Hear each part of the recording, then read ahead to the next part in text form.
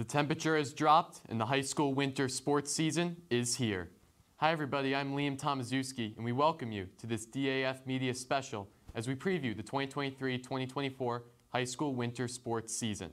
As always, FCIAC and state titles are up for grabs this year and all teams are looking to make more memories. As always, the expectations are high out on the ice. Boys head coach Mac Budd has a young, talented team that is ready to fill in the gaps left by a strong graduating senior class. Last season, the Wave finished their season with a loss to New Canaan in the Division One state quarterfinals. That loss will help fuel Darien this season. Yes, I think we had a lot of success last year winning that uh, FCIAC championship, and I think what we can build on is that momentum we had.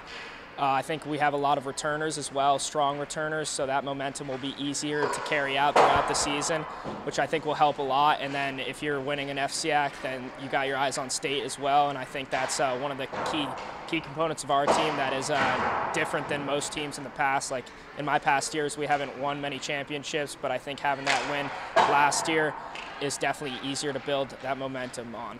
What Elliot and I have been focusing on is uh, making sure we get all these guys together, make sure it's super inclusive, make sure everyone feels as if you know like they're part of the team because they are, and we try to have that as one of our like main core values for the team. So in practice, you know, we're just pushing everyone, pushing everyone hard. It's a lot of new new type of game for the younger guys because they come off of playing for club teams, guys their age, their size. They're going against bigger guys now, and I think it's super important for them to realize that it's it's a different game, and we don't want them to feel like they're jumping into new waters when they're going against these bigger guys, and we want to keep them that keep that confidence that they had in tryouts and in their past teams. Moving over to the girls team, under the direction of longtime head coach Jamie Tropsa, the team has high hopes for this season after being Avon Co-op in the state championship last year.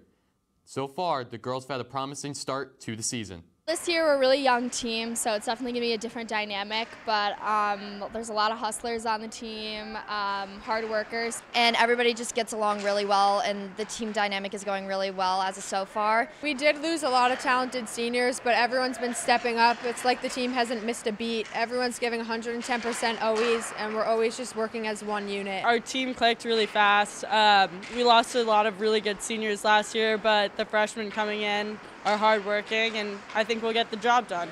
Moving over to the wrestling mat, there is reason for optimism in the Blue Wave Wrestling Room this season. Head coach Greg Lewis is continuing to build the program. He has big numbers on the mat, which means Darien should be able to compete at all weight classes and be a competitive force in the FCIAC.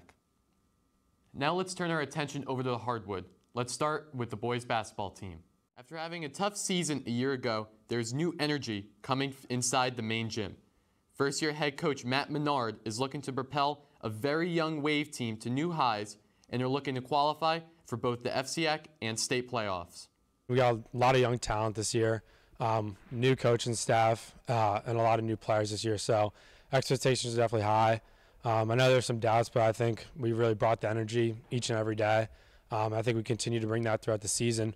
Um, and if we just continue that, I think we're going to reach our goal of definitely making FCIAC and states everyone really just wants to be here, as you said. There's a lot of energy. Everyone really wants to be at practice, and I think that kind of set us a high bar. We all want to be here and just practicing every hard, really hard every day. And yeah, I think we have a solid shot at making states and FCX this year. I think that the coaching staff's awesome here. Um, I think we have a really bright future ahead of us, and um, a lot of the players are happy to be here. And we got a lot of young talent, so yeah, pretty excited. Over on the girls' team, New head coach Steph Runis is in her first season as the head coach of the Darien girls basketball team. The Wave doesn't have a lot of depth and just one senior on the team, but it's a close-knit group with a lot of chemistry. The underclassmen definitely bring a lot of energy. They're eager to learn. It's an adjustment always because they haven't been playing varsity sports, but um, we're really excited. Practices have been really productive. We've been learning new plays, offenses, defenses. Um, it's been really good. We had our first few games, they've gone well, and we're hoping to continue to improve, and we're very optimistic about it. We're doing a lot more productive things in practice, and everyone's having a lot more fun. There's more smiles on the court, which is always good to see. And this group of girls in particular, everyone's really coachable, everyone's really friendly. It's, it's good. It's a really good atmosphere, so I'm really excited for this season. The team is really coming together with all the new underclassmen, and I think we're just trying to really grow this program for years to come. The Darien boys swim and dive team is hoping to once again make a splash in the pool. The Blue Wave doesn't have much depth this season, but there's plenty of quality on the team. A run at the postseason is on the table, and of course, always building for the future. Well, this year's team is a little bit, uh, it's pretty unique because we don't have any seniors. Uh, and we lost a couple of guys. We don't have as many people as we did last year. When I was in freshman year, we had 18. This year, we're down to about 13 or 14.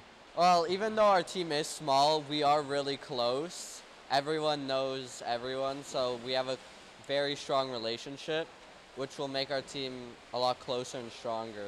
Even though we do have a young team, a lot of the young members are really good. We've got a lot of year-round swimmers this year, so I mean we're really excited to develop this team this year, and then next year we're going to try and drive home possibly a state championship. So. The boys and girls indoor track teams are prepping outdoors, but for the winter, the teams will compete at multiple indoor meets throughout the season, including multiple invitationals across Connecticut. Team records, bests, and titles are all in play for these student athletes. Darien has long had one of the most successful public high school boys and girls squash programs in the state. Both teams look to build on that tradition. New this year, the M Squash facility in South Norwalk is the new home for the Wave this season as they look to pick up key wins throughout the entirety of the year. Once again, the Darien YMCA is home to the Blue Wave gymnastics team.